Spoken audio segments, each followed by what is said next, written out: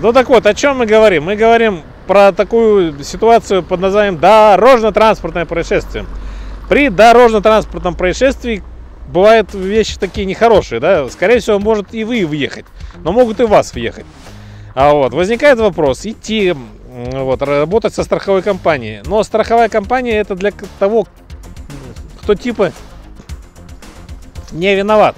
Но иногда же и вы можете влететь, представляете, да? Вы влетели, и что дальше?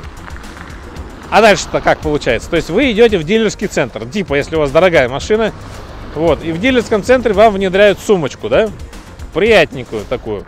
Кстати, если у вас машина покатска застрахована, вам же без разницы, куда вы заехали, правильно? Возьмете ценники там, э, машину отремонтируете здесь, на Сурикова 11, получите себе денежку, и тем не самым оплатите еще и кредит. Нормально, да?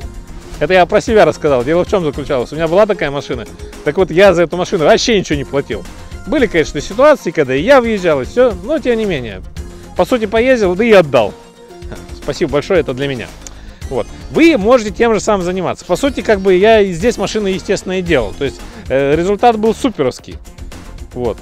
Теперь ваш вопрос. Что вы выбираете? Либо пойти по пути наибольшего и э, стремления э, э, косякам, либо по пути, по пути наименьшего стремления. Вот про этот вопрос мы сегодня и поговорим. Что касается умом Россию не понять. Я не понимаю нашу страховку. Про каско вопросов нет, там все качественно и правильно. Кроме выплаты страховки в кредитную компанию. Ну, продинамил недельку-другую, но бывает. И попадаешь. То есть вся страховка покрывает ваш кредитный бюджет. Ну, не полностью, но бывает. Клевенько, да? Очароватенько. Теперь про автогражданку. Лупанули всех и сразу построили себе виллы за наш счет. И одновременно посеяли хаос на дорогах. И вы не платите тем, у кого повреждения, от ваших косяководов. То есть вы по сути страхуете виновников. Им-то все равно, но попадают те, в кого ваш страховщик въехал. И вот это называется Россия. Но вот в Индии, например, все страхуются, но попадает тот, кто въехал. И неважно, прав он или не прав. И на чудовищную по нашим понятиям страну с почти двумя миллиардами человек крайне редкие аварии. Было-то и у нас хорошо, но 10 лет назад и не стало. Спасибо страховщикам. Никто ни здесь и никак по сути нами не занимается. И вы после удара будете искать виновника. А тот, кто вас въехал, будет искать быстрый качественный сервис, а он их-то и нет. Но у нас есть одно место. И да, иногда машинки стоят, но если есть то, что нужно, делается все быстро. В любом случае, после того, как случилось ДТП, машину так или иначе приходится ремонтировать. Либо уже, если там нет возможности совсем ее ремонтировать, машина превращается в утиль.